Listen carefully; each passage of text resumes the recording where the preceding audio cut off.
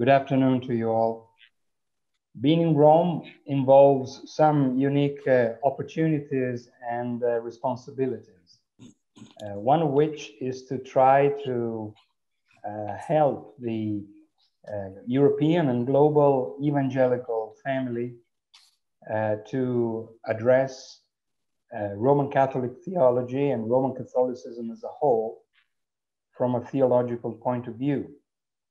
And uh, um, this is one of the reasons why uh, five years ago we launched the uh, Rome Scholars Network. is a week-long seminar taking place in Rome, second half of June each year pre-COVID, um, to gather scholars, international scholars, leaders of churches, organizations willing to wrestle with uh, the challenge of addressing Catholicism from theological point of view, a Protestant evangelical point of view, and gathering wisdom uh, from the, the best scholars around the world who are actually working on this topic.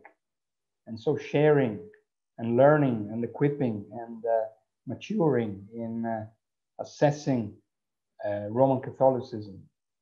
And so, as part of this uh, work, uh, more connected to the forum, we also offer the year round mentoring program on engaging Catholicism. It's a year long uh, mentoring program for a group of people. Last year we had 14 uh, people from around the world. This year we have a another similar group, and uh, I'm sure that Steve can send the link to in the chat line in order for you to have more information just in case you would like to join this year-round mentoring program. And out of the Rome Scholars Network, we hope to encourage more thinking, uh, theological work on Catholicism from an evangelical point of view. And uh, I'm also privileged of being the leader of the learning community of the Union School of Theology. Uh, next year, we're going to have uh, two students at the master's level and four students for the GD program. Plus, I am co supervising a couple of PhD students working on uh, Catholic related topics, such as Mariology and post Vatican II missiology. So there are many opportunities for uh, people you might know or interested in engaging in this kind of field to connect with us, and we'll be happy to uh, talk and to help if we can. Again, for this opportunity to talk about Bellarmine. And I choose this topic, and I thank uh, Dirk and Michael for accepting it uh, for a number of reasons. One is that uh, it is his, uh, it's the fourth centenary of his death. And as this year in particular, uh, for our evangelical memory, we remember the first centenary of John Stott's birth and uh, the first centenary of B.B. Warfield's death and even Herman Bavinck's death. We also have the opportunity to look at important anniversaries in uh, the Catholic camp in order to make use of these opportunities. I will present this paper even to a Catholic audience at the Gregorian University, uh, the, the, university in which, uh, I mean, the, the grandparent the grandmother of the present day Gregorian University, where even Cardinal Bellarmine taught, the Roman College, as it was called then. But also, it is important to address Bellarmine because Bellarmine is the uh, most elaborated uh, representative of Roman Catholic theology after the Council of Trent, the more systematizer. And uh, in doing so, um, not only systematizing the canons and, and decrees of the Council of Trent, but also developing them in a anti-Protestant tone and language and arguments in a controversialist way, as they used to call this type of theologizing. So uh, I will leave then at the end of my paper opportunity for you to uh, ask questions or to um, comment on various aspects of the um, of the paper. And uh, Bellarmine's critique of Protestantism, revisiting the controversy between Tridentine, Roman Catholicism, and the Reformation. Um, Bellarmine was born in Tuscany in 1542. He became a Jesuit in 1560 when he was 18, 18 years of age. His theological preparation was carried out in the Jesuit college in Padova, northeast of Italy, where he was trained in the Thomist tradition which would become his primary school of thought, and of which he would become a staunch promoter. In Padova, he also developed his skills as humanist, well versed in classical studies and biblical languages. As a brilliant young scholar, he was sent to Louvain, Leuven, in what is now Belgium, to complete his studies in that prestigious university city. He did so well academically that he soon became professor of theology there. He went there as a student and he was then called to be a professor. In Leuven, he met his the only embodied Protestants that he had never met in his life. He talked about Protestantism, talked about Protestant theology. He read extensively the reformers, but it was only in Leuven that he actually met some of them in person. Uh, being Leuven next to the Spanish Low Countries, it was with Calvinism in particular that Bellarmine took issue in his preaching and teaching there.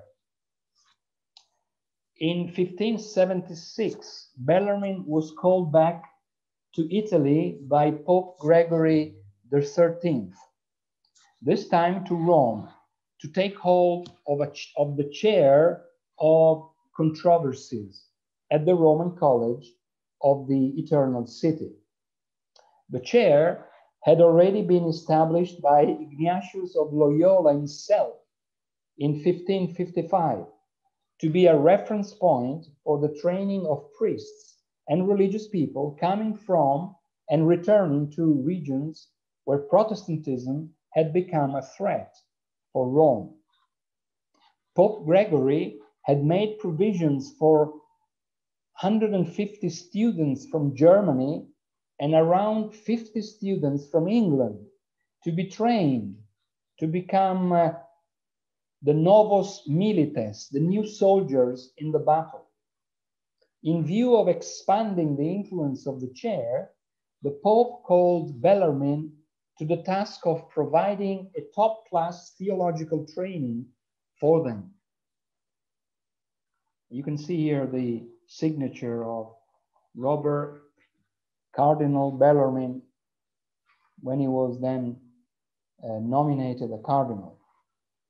He soon received pressures to make his material available in book form for wider circulation and to have it as a reference tool for priests and Catholic intellectuals around Europe. And I have listed here the courses that he taught at the Roman College during his Roman years 1576 on the Word of God, traditions, church, and councils, following here on the Roman pontiff and priesthood following here on monks, clergy, laity, and purgatory, then on the saints, grace and sin, free will and justification, Christ, the sacrament in, sacraments in general, and the sacrament of the Eucharist. These are, this is the list of courses that he taught in Rome. And he was pressed to publish this material in a book form. And although reluctantly, because um, when he first drafted them, they were not meant to circulate, he labored to prepare his lectures for publication. The outcome of his Leuven and Roman courses eventually came out as the Disputationes de Controversiis Christianae Fidei adversus huius temporis hereticos. The uh, disputations or the disputes on the controversies over the Christian faith against the heretics of this time. And it was published in three volumes from 1586 to 1593. This work has become the standard Roman Catholic theological rebuttal of the Reformation up to the First Vatican Council. So, for three centuries, it has been the main standard Catholic presentation of the Catholic faith with a special apologetic argumentation and anti Protestant intentionality.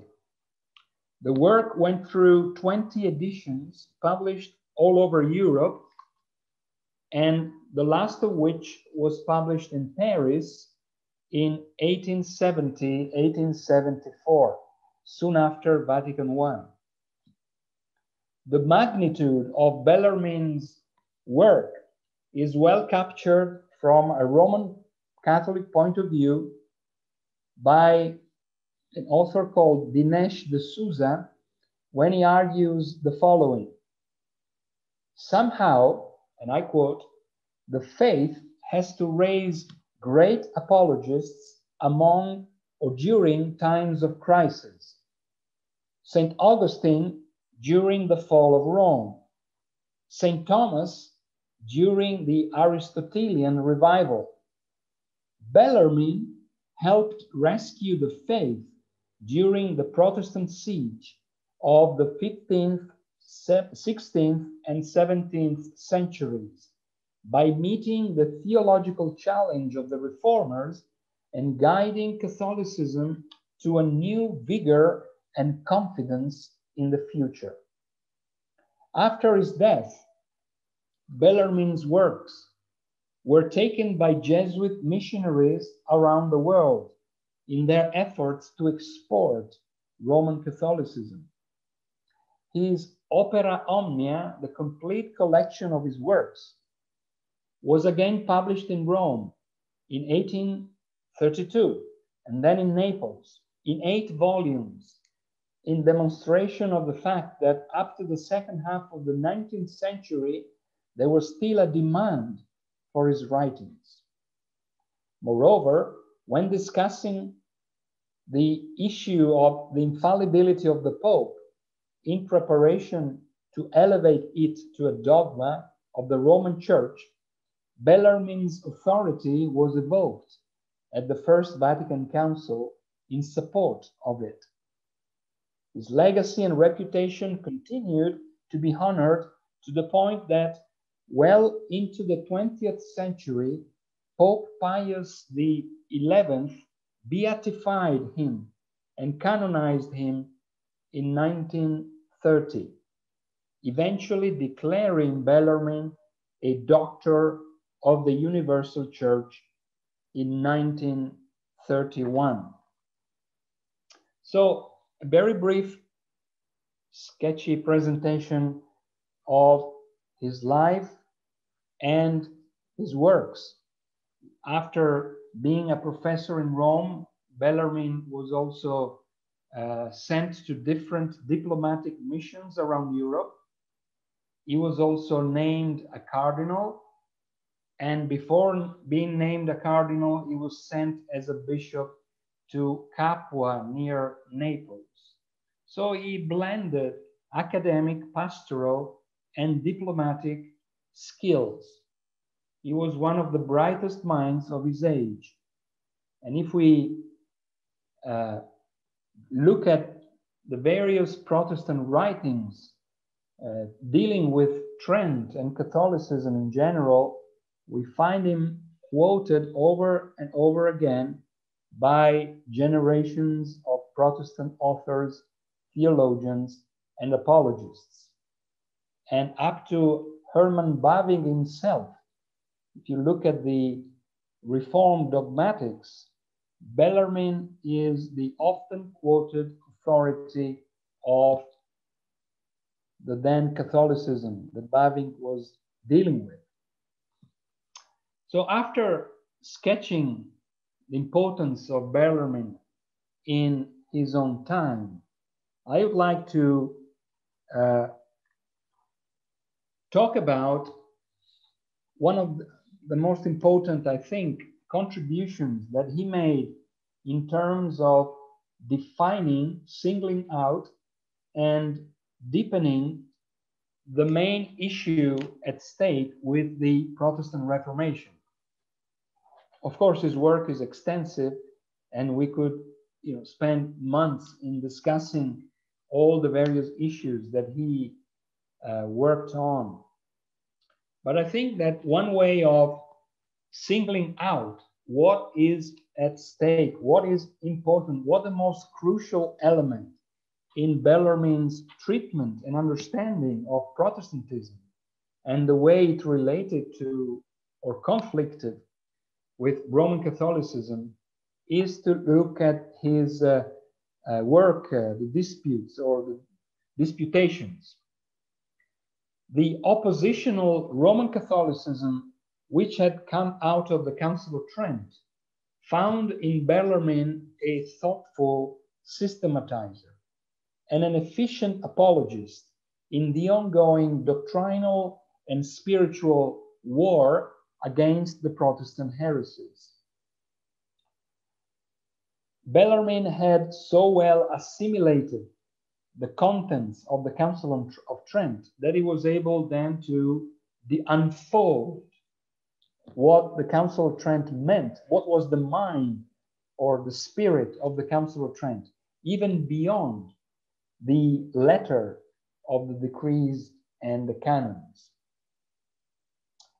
Uh, in, in so doing, Bellarmine imposed a scholarly pattern to the controversy.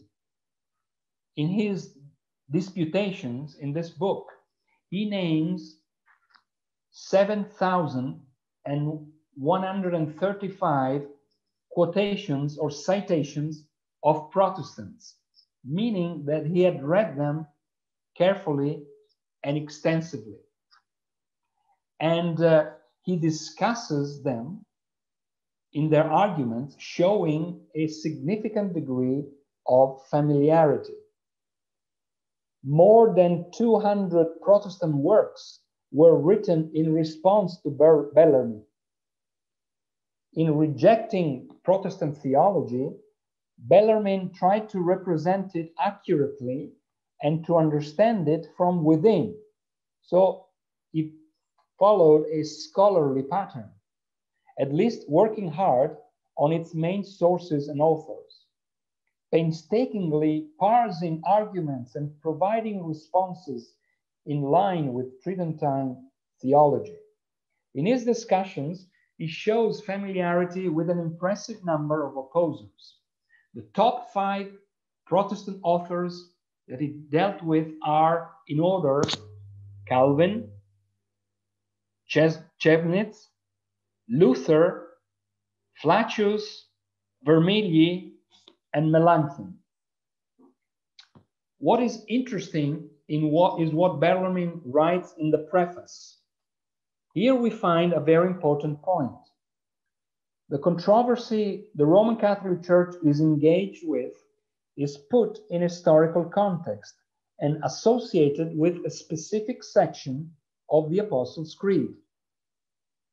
According to Bellarmine, the Reformation is not the first, but only the latest of a series of attacks that the Catholic Church has received throughout the centuries. Bellarmine suggests a parallel between the received attacks and the articles of the Creed. In his understanding, in the first two centuries, the enemies tried to destroy the first article of the Creed, the reality of one God. And he talks about the Simonians, the Basilidians, and the Marcionists. They were trying to destroy Article 1. In the third century, I quote, the devil established a new front and he began to attack the second article of the Creed. Through the activities of Praxeas, Noetus, Sabellius, Paul of Samosata, the divinity of Christ was questioned. From the fourth century onward, the mystery of the divine incarnation was attacked, thus impinging in various ways on the third, fourth, fifth, sixth, and seventh article because of their interconnections between the person and work of Jesus Christ and the person and work of the Holy Spirit. In this respect, Bellarmine makes reference to Arius, Eunomius, Nestorius, Eutyches, up to the Eastern Schism over the procession of the Spirit. Having established this, the order, orderly procedure of the evil attacks to the very fabric of the creed, at this point, Bellarmine can advance his thesis as to how to interpret the threat of the Reformation. The same scheme is applied here. In fact, after trying to destroy the first eight articles, the devil is now dedicated, I quote, to upset and destroy the truths concerning the church and the sacraments. That is, the ninth and the tenth articles of the Creed. I believe in the Holy Catholic Church, the communion of the saints, and the forgiveness of sins. Against these articles, different pre Reformation and Reformation movements are, according to Bellarmine, converging in order to undermine them. And here, here Bellarmine quotes the Berengarians, the Waldensians, the Albigensians, the Wycliffites, the Hussites, the Lutherans, the Zwinglians, the Confessionists, and the Anabaptists. The whole spectrum of medieval and early modern Reformation groupings is apparently united against the doctrine of the church and the sacraments. Here is Bellarmine's contention, and I quote Since almost all of the heresies of the present time pertain to these two articles of the Apostles' Creed, the ninth and the tenth, we will also di direct all the, these controversies to these two articles. Here we should pause for a moment in the attempt to appreciate the point that Bellarmine is making and perhaps to try to critically assess it. The Jesuit theologian is well aware of the differences between the different strands of the Reformation, yet he views them as unitarily allied in their common front against the Roman Church and its sacraments.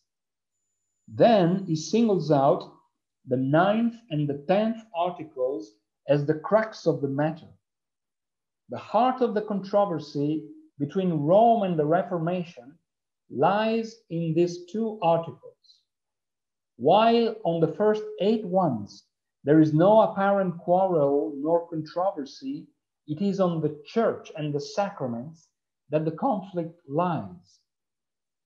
Renaming the list in more technical terms, we could say that while on theology proper, Christology, pneumatology, and therefore the basic Trinitarian framework of the Christian faith, there is no significant distinction, no division. It is in the area of ecclesiology and soteriology that the, that the battles that the battle rages. According to this interpretation, the Reformation did not take issue with Rome on the creedal and Trinitarian foundation of the Christian faith, but only on the two theological outworkings of it that is, the church and salvation. However, his argument, whereby the heart of the Roman Catholic Protestant war lies in the ninth and tenth articles of the Creed, needs to be qualified by the way he sets out to achieve his apologetical goal. In having to treat the subject matter of Article 9, that is the church, the first thing to be treated is Christ himself. This is Bellarmine speaking or writing. The first thing to be treated is Christ himself, who is the head and prince of the whole church. On the one hand, then, the core issue for Bellarmine is the church, but on the other, Bellarmine himself acknowledges the fact that the church is organically related to Christ, and therefore, by extension, ecclesiology to Christology. In other words, Article 9 on the church theologically outgrows the preceding articles. They are not detached or independent articles. Article 9 outgrows the preceding ones. Whereby the Catholic Protestant controversy becomes apparent in Article 9, it ultimately lies in the whole Christological and therefore Trinitarian framework of the Creed. Bellarmine, while on the one hand affirms the fact that the controversy is rooted in Article 9 and 10, on the other hand, he acknowledges that Article 9 and 10 do not stand on their own. They are developments, outworkings of the preceding articles. And if the conflict becomes apparent at Article 9 and 10, the root of the conflict needs to be traced back in the preceding articles. Bellarmine here shows theological acuteness in not taking doctrines or the articles of the creed in isolation, but correlating them in a system of doctrine. While he wants to address the Protestant heresies related to the church, he must deal with their foundational root, that is, Christology, given the fact that ecclesiology is argued for in primarily Christological terms. This is the reason why he devotes an entire book of more than 300 pages on the topic of Christ the head of the church, interwoven Christology and ecclesiology. A similar move is done by Bellarmine when it comes to introducing his train of arguments related to Article 10, the remission of sin or the forgiveness of sin. In outlining what he is about to write, soteriology is presented as embedded in a doctrinal web, including, and I quote, the grace of the first man, the loss of grace, the wounds remaining from sin, the recovery of grace, free will, justification, the merit of good works. The doctrinal discourse on the remission of sins involves the grace of God, therefore the doctrine of God, the nature and effects of sin, and therefore the doctrine of sin, the nature of man, and therefore anthropology. Art Article 10, in other words, is the tip of a theological iceberg that is unthinkable outside of a much larger framework explicitly touching on all the pillars of the creed. To further reinforce the same point, a third comment by Bellarmine in his preface is worth quoting. He is aware that the controversy centered on the articles 9 and 10 is further encapsulated in another preceding controversy. That is, and I quote, the Word of God. In other words, Bellarmine is aware that the point of difference also has to do with a different epistemological reference frameworks of the two theology. And uh, this uh, framework needs to be established in order to understand what is at stake between the two factions. The rule of faith is the doctrinal standard by which one can make a judgment about dogmas. Here again, while affirming that the battle line is primarily in ecclesiology and soteriology, Bellarmine argues that the doctrine of revelation, the Bible, tradition, the role of the magisterium of the church, all these doctrines are intrinsically involved in the dispute. This is why Bellarmine devotes its first controversy, more than 250 pages, to the Word of God. That's the first chapter of the disputations, the Word of God, followed by Christ, and then moving on to the church and the sacraments.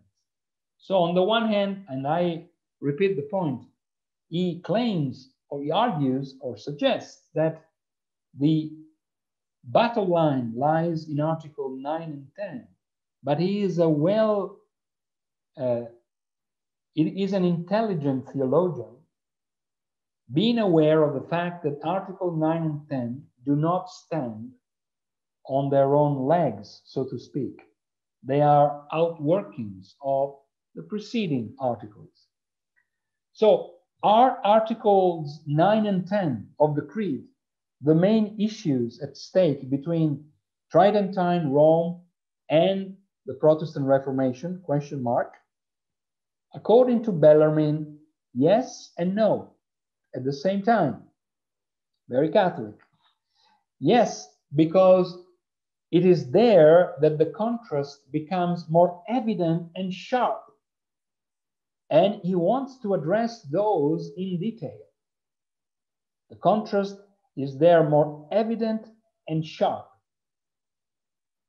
But at the same time, no, because ecclesiology and soteriology are organically and inextricably related to the core of their respective theological systems.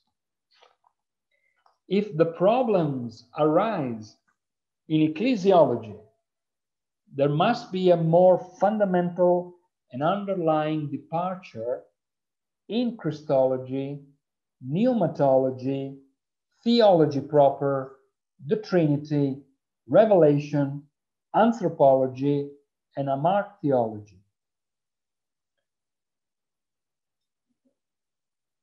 It is common, it is a common argument in our present day assessments of the issue at stake between Rome and the evangelical faith that what really divides us has to do with ecclesiology and soteriology. And this claim has a long history going back to Bellarmine, who actually introduced it. But what present day simplistic accounts of the difference uh, fails to do is to be is to have awareness of the fact that behind and through these two main apparent points of conflict and contrast there are whole theologies involved. Bellarmine's controversies do not support a naive view whereby we can separate the Trinity, Christology, anthropology, hamartiology, and ecclesiology and soteriology.